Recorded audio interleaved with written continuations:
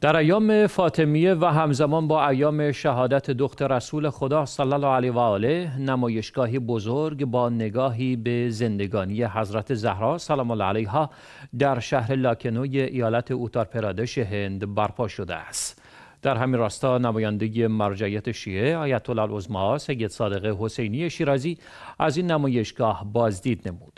به همت شیعیان هندوستان مؤسسه فقه و فقاهت نمایشگاهی با عنوان نمایشگاه فاطمی در حسینیه محمد علی شاه در شهر لاکنوی اوتار پرادش هندوستان راه اندازی نموده که علاوه بر پرداختن به گوشه های از زندگانی حضرت صدیقه کبرا فاطمه زهرا سلام الله علیها نگاهی به اتفاقات صدر اسلام نیز دارد. لازم ذکر است که این نمایشگاه برای هشتمین سال متوالی است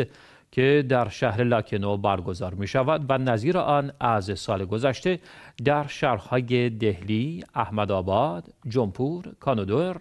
برپا شده است. حجت اسلام سید محمد میان آبدی از کاران برپایی این نمایشگاه هدف از برپایی این نمایشگاه را آشنایی هرچه بیشتر اقشار مختلف جامعه با زندگانی حضرت صدیقه کبرا سلام الله علیها عنوان کرد. وی با اشاره به اینکه بسیاری از غیر مسلمانان نیز از این نمایشگاه دیدن می کنند افزود این نمایشگاه می تواند غیر مسلمانان را با اتفاقاتی که در صدر اسلام رخ داده آشنا سازد تا در عصر حاضر بتوانند تفاوت حق و باطل را تشخیص داده و اسلام حقیقی را درک نماید.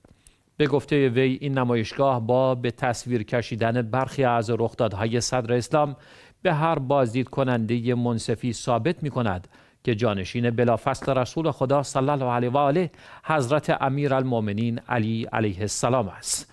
گفتنی است شیخ مصطفی عدی به از وکلای مرجع علی قدر آیت الله العظما سید صادق حسینی شیرازی ضمن بازدید از این نمایشگاه از زحمات دستن در کاران آن قدردانی نمود.